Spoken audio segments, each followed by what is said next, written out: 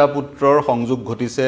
প্ৰধানমন্ত্ৰী মুখ্যমন্ত্ৰীৰ পদবীটোৰ যোগেদি পিতা পুত্ৰৰ সংযোগ ঘটিছে। এক পুৰণি খবৰ দেওবাৰে তামিলনাডুৰ উপ মুখ্যমন্ত্ৰী হিচাপে শপত গ্ৰহণ কৰিলে উদয়ানিধি ষ্টেলিনে। আৰু উদয়ানিধি ষ্টেলিন হৈছে তামিলনাডুৰ মুখ্যমন্ত্ৰী এম কে ষ্টেলিনৰ পুত্ৰ। তামিলনাডুত এনেধৰণৰ ঘটনা পূৰ্বতেও ঘটিছে। উদয়ানিধিৰ পিতৃ ষ্টেলিনেও উপ মুখ্যমন্ত্ৰী হিচাপে দুহেজাৰ ন চনত শপত লৈছিলে। তেতিয়া উদয়ানিধিৰ ককাওক তথা ষ্টেলিনৰ পিতৃ কৰুণানিধি মুখ্যমন্ত্ৰী হৈ আছিল। গতিকে তিনিটা প্ৰজন্ম কৰুণানিধি ষ্টেলিন আৰু উদয়ানিধি। তিনিটা প্ৰজন্ম তিনিটা প্ৰজন্মত দুজন মুখ্যমন্ত্ৰী দুজন উপ মুখ্যমন্ত্ৰী বিভিন্ন কালখণ্ডত। দুহেজাৰ নৰ পৰা এতিয়ালৈকে বিভিন্ন কালখণ্ডত দুজন উপ মুখ্যমন্ত্ৰী দুজন মুখ্যমন্ত্ৰী। দুজন মুখ্যমন্ত্ৰী এজন কৰুণানিধি তেওঁৰ মৃত্যু হৈছে আৰু তেওঁৰ পুত্ৰ ষ্টেলিন বৰ্তমানৰ মুখ্যমন্ত্ৰী। দুজন উপ মুখ্যমন্ত্ৰী বৰ্তমান নতুনকৈ নৱনিযুক্ত উপ মুখ্যমন্ত্ৰী ষ্টেলিন আৰু ক্ষমা কৰিব নৱনিযুক্ত উপ মুখ্যমন্ত্ৰী উদয়ানিধি আৰু তেওঁৰ পিতৃ ষ্টেলিন দুহেজাৰ ন চনত উপ মুখ্যমন্ত্ৰী হৈছিলে। যি কি নহওক আমাৰ আলোচনাৰ বিষয়টো হৈছে বা বিশ্লেষণৰ বিষয়টো হৈছে তেনেধৰণে পিতা পুত্ৰৰ সংযোগ অসমত ঘটাৰ সম্ভাৱনা কিমান? পিতা পুত্ৰৰ সংযোগ অসমত ঘটাৰ সম্ভাৱনা কিমান? ই এক প্ৰাসংগিক প্ৰশ্ন। আৰু তাৰ লগতে আমি তামিলনাডুত যি এক বিৰল ৰাজনৈতিক পৰিঘটনা দেখা পালোঁ তেনেধৰণৰ ৰাজনৈতিক পৰিঘটনা দেশত আৰু ক'ত ক'ত ঘটিছে? তেনেধৰণৰ ৰাজনৈতিক ঘটনা আৰু ক'ত ক'ত ঘটিছে? পিতৃও মুখ্যমন্ত্ৰী পুত্ৰও মুখ্যমন্ত্ৰী এনেধৰণৰ ঘটনা ভাৰতবৰ্ষৰ ক'ত ক'ত ঘটিছে? বিভিন্ন সময়ত আমি দেখা পাইছিলোঁ পিতৃৰ মৃত্যুৰ পিছত মৃত্যুৰ পিছত পুত্ৰ মুখ্যমন্ত্ৰী হৈছে নতুবা পিতৃয়ে পুত্ৰক মুখ্যমন্ত্ৰী কৰিবলৈ চকীখন এৰি দিছে তেনেধৰণৰ ঘটনাও আছে। তামিলনাডুত ডি এম কে দলটোত যি ধৰণৰ এক পৰিয়ালতান্ত্ৰিক বা পৰিয়ালকেন্দ্ৰিক ৰাজনীতি দেখা পোৱা গ'ল তাৰ সমালোচনা বহুজনে কৰিছে। ককায়কৰ দিনৰ পৰাই ককাওক আছিলে মুখ্যমন্ত্ৰী পিতৃও মুখ্যমন্ত্ৰী আৰু নাতি এতিয়া হ'লগৈ উপ মুখ্যমন্ত্ৰী যি কি নহওক প্ৰথমতে আমি বিশ্লেষণ কৰি লওঁ ভাৰতবৰ্ষৰ আন ক'ত ক'ত এনেধৰণৰ ঘটনা ঘটিছে বিশ্লেষণ কৰি লওঁ। আৰু অসমত এতিয়ালৈকে তেনেধৰণৰ ঘটনা ঘটা নাই। পিতা পিতৃ মুখ্যমন্ত্ৰী আৰু পুত্ৰ মুখ্যমন্ত্ৰী এনেধৰণৰ ৰাজনৈতিক ঘটনা ঊনৈছশ সাতচল্লিছৰ পৰা এতিয়ালৈকে অসমত আমি দেখা পোৱা নাই। অনাগত সময়ত আমি দেখা পামনে? সেয়া নিৰ্ভৰ কৰিব ৰাইজৰ ওপৰত। অনাগত সময়ত ৰাইজে কিদৰে ভোট দিয়ে তাৰ ওপৰত নিৰ্ভৰ কৰিব। অনাগত সময়ত আমি এগৰাকী মুখ্যমন্ত্ৰীৰ পুত্ৰক মুখ্যমন্ত্ৰী হিচাপে পাম নে নাপাওঁ? ইয়াত আৰু এটা কথা কৈ থওঁ আজি কিছুদিনৰ কিছু বছৰৰ আগলৈকে মহাৰাষ্ট্ৰৰ কেবিনেটখনত পিতৃও আছিল পুত্ৰও আছিল।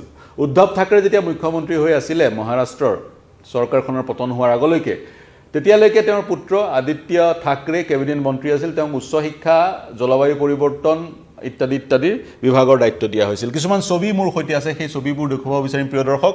এইখন ছবি আপোনালোকৰ পৰিচিত সংবাদ শিৰোনাম দখল কৰিছে। পিতৃ এম কে ষ্টেলিন পুত্ৰ উদয়ানিধি মুখ্যমন্ত্ৰী উপ মুখ্যমন্ত্ৰী প্ৰাক্তন মুখ্যমন্ত্ৰী। কৰুণানিধিৰ এখন ছবি পিছফালে দেখা পোৱা গৈছে। চিৰ পৰিচিত সেই ছবিখন এখন তেওঁ ব্লেক গ্লাছ সদায় পৰিধান কৰি থাকে।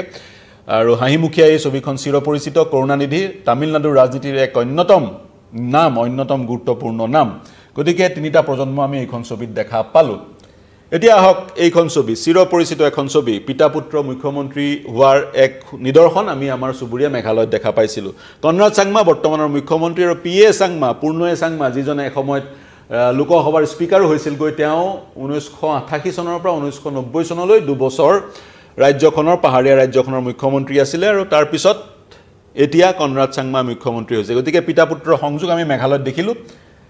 তাৰপিছত আৰু এখন ছবি। এইখন চিৰ পৰিচিত ছবিখন আপোনালোকে যদি দেখা পাইছে মুলায়ম সিং যাদৱ আৰু অখিলেশ সিং যাদৱ। মুলায়ম সিং যাদৱ মুখ্যমন্ত্ৰী আছিলে উত্তৰ প্ৰদেশৰ আৰু তেওঁ চকীখন তেওঁৰ জীৱিত অৱস্থাতে তেওঁৰ পুত্ৰ মুখ্যমন্ত্ৰী হৈছিলে। মূলতঃ মুলায়ম সিং যাদৱে চকীখন এৰি দিছিলে। পুত্ৰক মুখ্যমন্ত্ৰী কৰিবলৈ মুখ্যমন্ত্ৰীৰ পদত অধিষ্ঠিত কৰিবলৈ মুলায়ম সিং যাদৱে চকীখন এৰি দিছিলে। এতিয়া মুলায়ম সিং যাদৱ তেওঁ জীৱিত হৈ থকা নাই তেওঁৰ মৃত্যু হৈছে আৰু পুত্ৰৰ ৰাজনীতি সক্ৰিয় এইবাৰ সাংসদ হিচাপে জয়ী হৈছে। যিটো সমাজবাদী পাৰ্টী যিটো দল পিতৃয়ে গঠন কৰিছিল সেই দলটোৰ মুৰব্বী পুত্ৰ অখিলেশ সিং যাদৱ।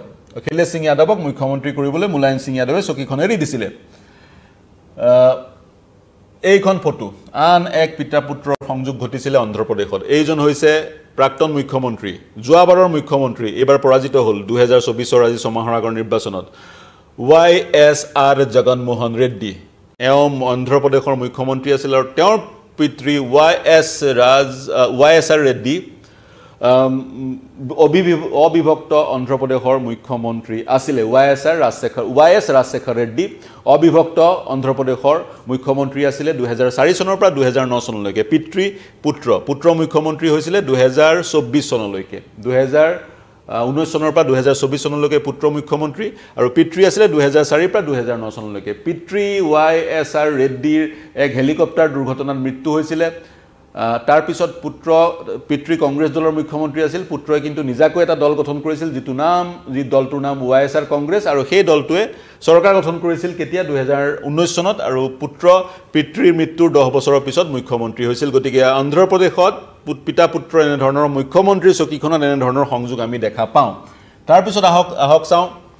আন এক তেনেধৰণৰ উদাহৰণ আন এক তেনেধৰণৰ উদাহৰণ আমি দেখা পাওঁ। এয়া হৈছে বহুগুণা বিজয় বহুগুণা বিজয় বহুগুণা আৰু তেওঁৰ পিতৃ তেওঁৰ পিতৃ Y S Bahuguna H N Bahuguna. H N Bahuguna আৰু বিজয় বহুগুণা। এই ঘটনাটো হৈছে ভাৰতবৰ্ষৰ এক বিৰল ঘটনা। পিতৃ এখন ৰাজ্যৰ মুখ্যমন্ত্ৰী আছিল পুত্ৰ আন এখন ৰাজ্যৰ মুখ্যমন্ত্ৰী আছিল। পিতৃ সত্তৰ দশকত উত্তৰ প্ৰদেশৰ মুখ্যমন্ত্ৰী আছিলে পুত্ৰ পিতৃ এইজন পিতৃ পিতৃ সত্তৰ দশকত উত্তৰ প্ৰদেশৰ মুখ্যমন্ত্ৰী আছিলে আৰু পুত্ৰ হ'লগৈ উত্তৰাখণ্ডৰ মুখ্যমন্ত্ৰী। গতিকে দুখন পৃথক ৰাজ্যত পিতা পুত্ৰ মুখ্যমন্ত্ৰী হোৱাৰ ভাৰতৰ ৰাজনৈতিক ইতিহাসত এইটোৱেই ঘটনা। আনকালে এনেধৰণৰ ঘটনা সংঘটিত হোৱা নাই। ভাৰতৰ আন প্ৰান্তত এনেধৰণৰ ঘটনা সংঘটিত হোৱা নাই।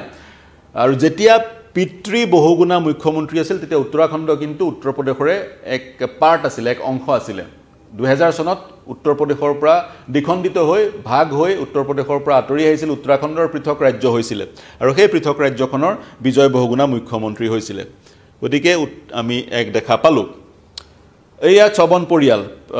মহাৰাষ্ট্ৰত পিতা পুত্ৰ তেনেধৰণৰ সংযোগ আমি পৰিলক্ষিত কৰিছিলোঁ। পিতৃ শংকৰাও চবন আৰু পুত্ৰ অশোক চবন মহাৰাষ্ট্ৰত দুয়োগৰাকী বিভিন্ন সময়ত বিভিন্ন কালখণ্ডত মুখ্যমন্ত্ৰী হৈছিল। গতিকে মহাৰাষ্ট্ৰতো পিতা পুত্ৰৰ উদাহৰণ আছে।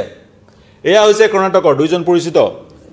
দুইজনৰ দুইজনৰ সৈতে আপোনাৰ দুইজন দুইগৰাকী ব্যক্তিয়ে পৰিচিত মুখ। ৱাই এইচ ডি দেৱেগৌড়া আৰু H D Kumaraswamy. H D Devegowda ভাৰতৰ প্ৰধানমন্ত্ৰী হৈছিলে যেতিয়া সংযুক্ত মৰ্চাৰ চৰকাৰ আছিলে ঊনৈছশ ছিয়ান্নব্বৈ ছিয়ান্নব্বৈ সাতান্নব্বৈ চনত।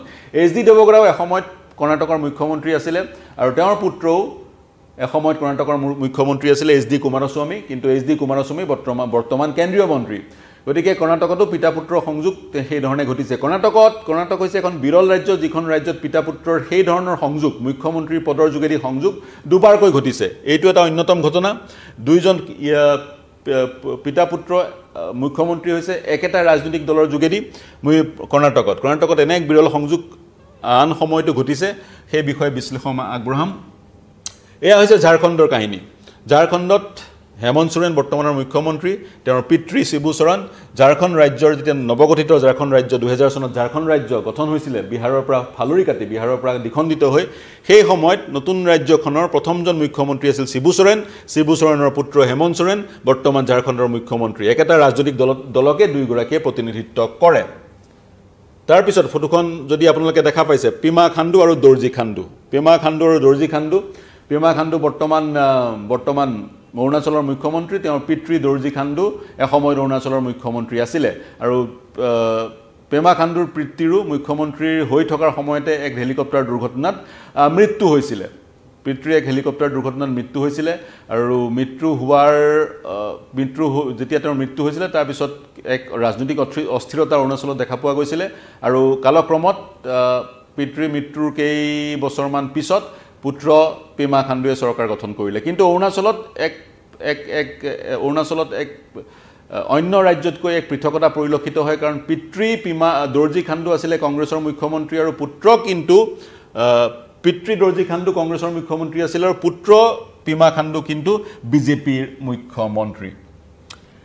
কৰ্ণাটকৰ আমি প্ৰসংগটো উল্লেখ কৰিছিলোঁ আমি তেতিয়াই কৈছিলোঁ কৰ্ণাটকত পিতা পুত্ৰৰ মুখ্যমন্ত্ৰী পদবীৰ যোগেদি সংযোগ দুবাৰকৈ ঘটিছে। এইচ ডি কুমাৰস্বামী আৰু এইচ ডি দেৱগৌড়া পিতা পুত্ৰ দুয়োগৰাকী কৰ্ণাটকৰ মুখ্যমন্ত্ৰী আছিল। দুবাৰকৈ ঘটিছে বুলি যিহেতু কৈছিলোঁ এইটো দ্বিতীয়টো ঘটনা। কৰ্ণাটকত পিতা পুত্ৰ মুখ্যমন্ত্ৰী হৈছেগৈ। এইজন পুত্ৰ S R Bommai S R Bommai আজি কিছু বছৰৰ আগতে দুহেজাৰ বিছ একৈছ চনত কৰ্ণাটকৰ মুখ্যমন্ত্ৰী হৈছিল। ক্ষমা কৰিব এজন পুত্ৰ বাচৱৰা বাচৱৰাজ বাচৱৰাজ বোমাই বাচৱৰাজ বোমাই দুহেজাৰ বিছ একৈছ চনত কৰ্ণাটকৰ মুখ্যমন্ত্ৰী হৈছিল। বাচৱৰাজ বোমাইৰ পিতৃ এজন হৈছে S R Bommai. S R Bommai কৰ্ণাটকৰ মুখ্যমন্ত্ৰী হৈছিল আশীৰ দশকত।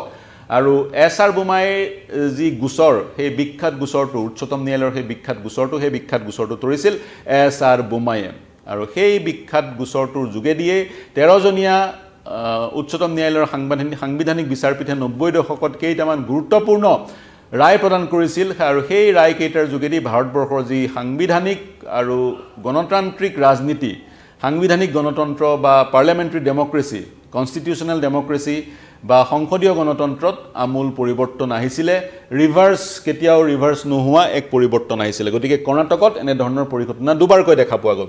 তাৰপিছত আহক এইখন শ্লাইড সকলোৰে পৰিচিত নবীন পাটনায়ক বিজু পাটনায়ক। উৰিষ্যাত বিভিন্ন কালখণ্ডত দুইজন মুখ্যমন্ত্ৰী আছিলে। নবীন পাটনায়কৰ পিতৃ বিজু পাটনায়ক।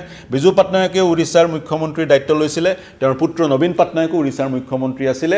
আজি কিছুদিনৰ আগলৈকে আজি কিছুদিনৰ আগলৈকে তেওঁ তেইছৰ পৰা পঁচিছ বছৰ উৰিষ্যাৰ মুখ্যমন্ত্ৰী আছিল। ভাৰতবৰ্ষৰ ৰাজনৈতিক ইতিহাসত নবীন পাটনায়ক সৰ্বাধিক সময় মুখ্যমন্ত্ৰী পদত অধিষ্ঠিত হৈ থকা ব্যক্তি। তেওঁৰ পিতৃ বিজু পাটনায়কো উৰিষ্যাৰ মুখ্যমন্ত্ৰী আছিলে।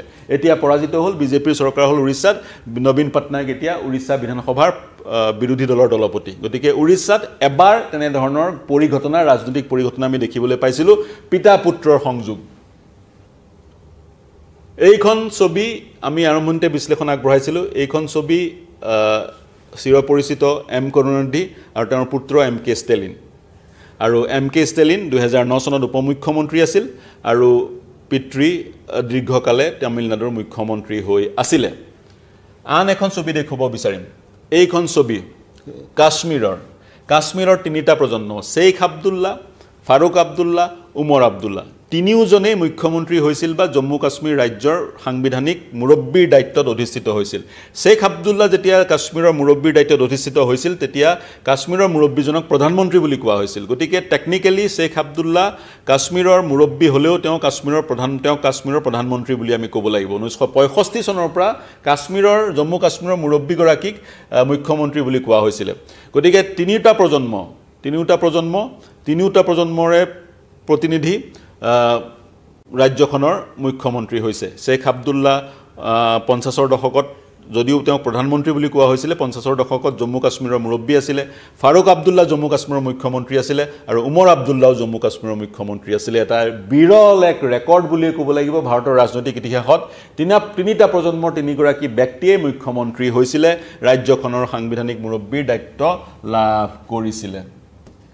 এতিয়া আমাৰ আলোচ্য বিষয়টো গৌৰৱ গগৈ আৰু তৰুণ গগৈ।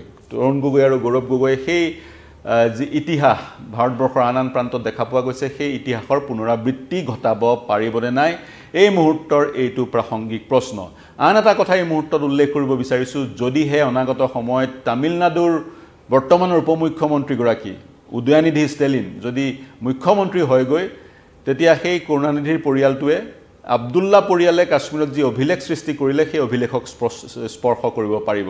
একেটা পৰিয়ালৰে তিনিজন তিনিটা প্ৰজন্মই মুখ্যমন্ত্ৰীৰ দায়িত্ব লোৱাৰ যি এক ৰেকৰ্ড আব্দুল্লা পৰিয়ালে কৰি থৈছে জম্মু কাশ্মীৰত সেই ৰেকৰ্ড উদয়ানিধি যদি অনাগত সময়ত মুখ্যমন্ত্ৰী হয় তেতিয়া কৰুণানিধিৰ পৰিয়ালে সেই ৰেকৰ্ড স্পৰ্শ কৰিব পাৰিব। এতিয়া অসমৰ প্ৰসংগটোলৈ আহোঁ। অসমৰ বেলিকা এই দুজনৰ এই দুজন তৰুণ গগৈ ইতিমধ্যে প্ৰয়াত তৰুণ গগৈ তৰুণ গগৈ আৰু গৌৰৱ গগৈ প্ৰসংগটো। গৌৰৱ গগৈ অনাগত সময়ত মুখ্যমন্ত্ৰী হ'বনে নাই সেই কথা এই মুহূৰ্তত কৈ দিব পৰা নাযায়। গৌৰৱ গগৈ সক্ৰিয় হৈছে ৰাজনীতিত। দুহেজাৰ চৈধ্য চনৰ পৰা তেওঁ সাংসদ কংগ্ৰেছৰ সাংসদ প্ৰথমতে তেওঁ কলিয়াবৰৰ পৰা সাংসদ আছিল এইবাৰ তেওঁ যোৰহাটৰ পৰা সাংসদ আৰু তেওঁ এইবাৰ তেওঁৰ যি এইবাৰ নিৰ্বাচনী প্ৰচাৰ বা তেওঁৰ যি এইবাৰ নিৰ্বাচনত জয়ী হোৱাৰ যি প্ৰক্ৰিয়া সেই প্ৰক্ৰিয়াই সৰ্বত্ৰ চৰ্চা লাভ কৰিছিল শিৰোনাম দখল কৰিছিল তেওঁক পৰাজিত কৰিবলৈ বিজেপিয়ে সকলো তন্ত্ৰ বা মাচল পাৱাৰ মানি পাৱাৰ সকলো ব্যৱহাৰ কৰা স্বত্তেও কিন্তু যোৰহাটৰ পৰা জয়ী হৈছিলে গৌৰৱ গগৈ। আৰু অতি সম্প্ৰতি গৌৰৱ গগৈক পূৰ্বতে গৌৰৱ গগৈক দিল্লীত সক্ৰিয় হোৱা পৰিলক্ষিত হৈছিল কিন্তু এতিয়া গৌৰৱ গগৈ অসমত সক্ৰিয় হোৱা পৰিলক্ষিত হৈছে। অসমৰ যি লোকেল স্থানীয় ৰাজনীতি বা ৰাজনৈতিক বিষয়সমূহ সেই বিষয়সমূহত সততে মন্তব্য কৰা তেওঁ পৰিলক্ষিত হৈছে বা তেওঁৰ ৰাজনৈতিক যি শত্ৰু হিমন্ত বিশ্ব শৰ্মা তেওঁৰ বিৰুদ্ধাচৰণ কৰি বিভিন্ন সময়ত গৌৰৱ গগৈয়ে মন্তব্য কৰি থকা পৰিলক্ষিত হৈছে। দুহেজাৰ ছাব্বিছৰ নিৰ্বাচনলৈ বেছিদিন নাই গৌৰৱ গগৈ মুখ্যমন্ত্ৰী হ'বনে নহয় সেই কথা এই মুহূৰ্তত ক'ব পৰাৰ অৱস্থাত আমি নাই বা কোনোৱে নাই। যদিহে এই সেয়া সকলো নিৰ্ভৰ কৰিব ৰাইজৰ ওপৰত ৰাইজে পুনৰ বিজেপিৰ শাসনেই বিচাৰে নে কংগ্ৰেছক পুনৰ শাসনাধিষ্ঠ কৰিব বিচাৰিব সেয়া নিৰ্ভৰ কৰিব ৰাইজৰ ওপৰত।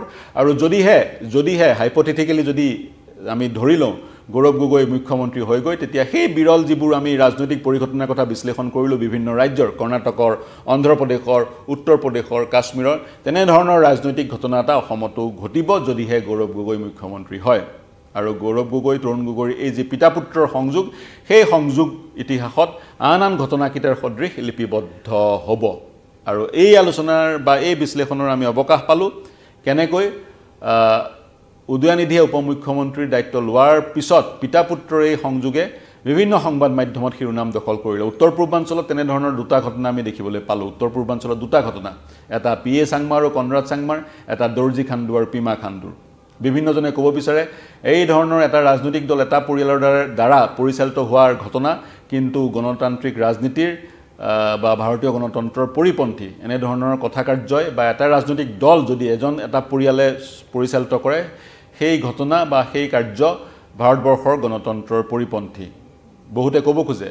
আৰু এই যি পুত্ৰসকল মুখ্যমন্ত্ৰী হয় বা পুত্ৰসকলে ৰাজনীতিৰ জখলা বগায় আদিত্য থাকৰেৰ ক্ষেত্ৰত তেওঁৰ পিতৃ উদ্ধৱ থাকৰে বা তৰুণ গগৈৰ ক্ষেত্ৰত গৌৰৱ গগৈৰ ক্ষেত্ৰত তৰুণ গগৈ অখিলেশ সিঙৰ ক্ষেত্ৰত মুলায়ম সিং এই পুত্ৰসকলে যে ৰাজনীতিৰ জখলাডাল বগায় সেই ৰাজনীতিৰ জখলাডাল তেওঁলোকে পিতৃৰ সুবাদতে বগাই যায় বুলি বিভিন্নজনে ক'ব খোজে। যদিহে গৌৰৱ গগৈৰ পিতৃ তৰুণ গগৈ নহ'লে হয় নিৰ্বা ৰাজনীতিত গৌৰৱ গগৈৰ কোনো স্থান নাথাকিল হয় বুলি বিভিন্নজনে ক'ব বিচাৰে। কিন্তু তাৰ সমান্তৰালকৈ বিভিন্নজনে কয় যিহেতু সেইসকল পুত্ৰই ঘৰত এটা ৰাজনৈতিক পৰিৱেশ পায়। গতিকে ৰাজনৈতিক কৌশলসমূহ বা ৰাজনীতিৰ বিভিন্ন কথা তেওঁলোকে অতি শীঘ্ৰে বা সহজে আয়ত্ব কৰিব পাৰে। যিধৰণে বিজ্ঞানীৰ সন্তান বিজ্ঞানী হয় শিক্ষকৰ সন্তান শিক্ষক হয় বা আন প্ৰফেশ্যনৰ পিতৃ যি প্ৰফেশ্যন বিভিন্ন সময়ত সেই প্ৰফেশ্যন পুত্ৰই গ্ৰহণ কৰে। উদ্যোগপতি বা বাণিজ্যৰ সৈতে জড়িত লোকসকলৰ ক্ষেত্ৰত এয়া আৰু ভালকৈ প্ৰযোজ্য। পিতৃয়ে যি ব্যৱসায় কৰে পুত্ৰও সেই ব্যৱসায়ত জড়িত হৈ পৰে। গতিকে তেনেস্থলত এজন ৰাজনীতিবিদৰ পুত্ৰ সহজেই ৰাজনীতিবিদ হ'ব পাৰে বা তেওঁ যিহেতু কৌশলবোৰ ঘৰতেই শিকে গতিকে তেওঁ ৰাজনীতিৰ জখলাডাল বগোৱাৰ বগোৱাৰ ক্ষেত্ৰত আনতকৈ কিছু ইজি হয় বা আনতকৈ কিছু সহজ হয় বুলি বিভিন্নজনে ক'ব খোজে। তৎসত্বেও ৰাজনীতিত কিন্তু আগবাঢ়ি যাবলৈ ৰাইজৰ সৈতে এক সংস্থা সংযোগ স্থাপন কৰিবই লাগিব বুলি বিভিন্নজনে ক'ব খোজে। প্ৰিয় দৰ্শক এই বিশ্লেষণৰ অন্ত পেলাম। গৌৰৱ গগৈ এনেকুৱা সময়ত মুখ্যমন্ত্ৰী হয়নে নাই সেই সময়ত গম পোৱা যাব। আৰু যদিহে মুখ্যমন্ত্ৰী হয় অসমতো তেনেধৰণৰ এক পিতা পুত্ৰৰ সংযোগ আমি পৰিলক্ষিত কৰিম। প্ৰিয় দৰ্শক এই বিশ্লেষণ আগবঢ়ালোঁ। বিশ্লেষণ কেনে পালে জনাব। মন্তব্য দিব প্ৰত্যুত্তৰ দিব। আপোনালোকৰ মন্তব্য প্ৰত্যুত্তৰ আমাৰ কাৰণে চালিকা শক্তি। দেশ বিশ্ব ৰাজ্যৰ সকলো বা বাতৰিৰ কাৰণে চাই থাকিব। News eighteen Assam north east. ধন্যবাদ।